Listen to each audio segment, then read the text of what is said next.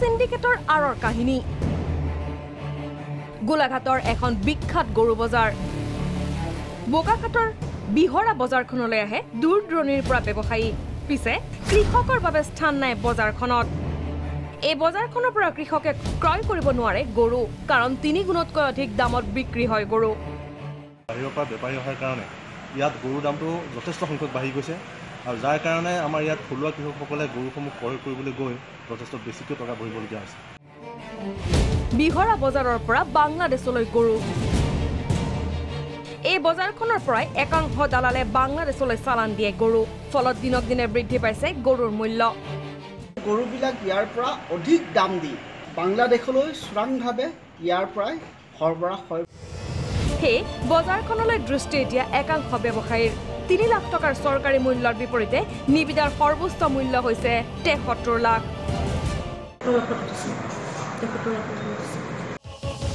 বিহৰা বজাৰখন হৈ পৰিছে এতিয়া গৰু চিণ্ডিকেটৰ প্ৰাণকেন্দ্ৰ ভিডিঅ' জাৰ্নেলিষ্ট আলোকৰ সৈতে বগাখাটৰ পৰা ৰোমান বৰুৱা প্ৰাগ নিউজ